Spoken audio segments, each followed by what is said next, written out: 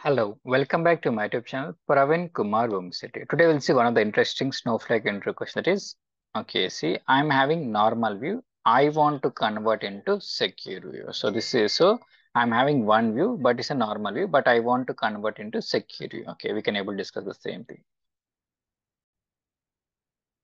Okay, this is the Snowsight view. First we'll get step by step. So I'll create one database.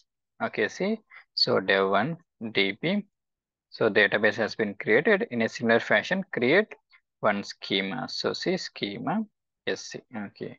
So my database and my schema. Now I'll try to create simple table. So see step by step, I'm trying to give, so that will be clear. So I'm creating employee table, ID, number, name, care. So this is normal table. Now what happened, insert one or two record for understanding purpose. So insert into EMP values. So 1 comma Praveen. Okay, see. Now, so this is normal table. Select star from EMP. Okay, now what happened? On the top, I want to create a normal view. Okay, see.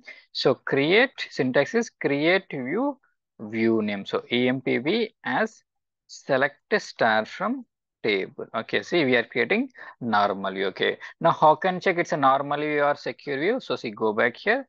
Now we're having concepts of, okay, see, show views is there. See, show views. Okay, see, show views is there.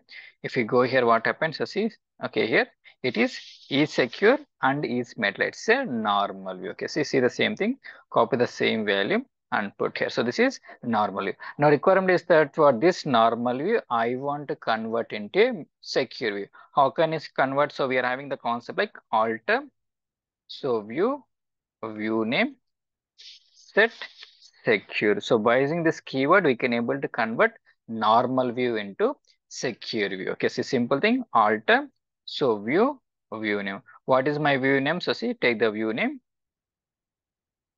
Okay, so view name. Okay, see set secure. Now see. Okay, for okay, see. So spelling mistake, set secure. Okay, so control enter. Now go back here, so show, show views. Okay, see confirmation purpose. So see here what happened. Earlier is is secure is false.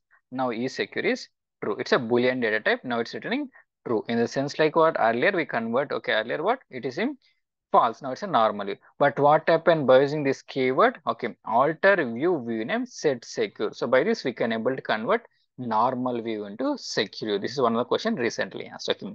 If you like the content, subscribe and share the channel. Thank you for watching.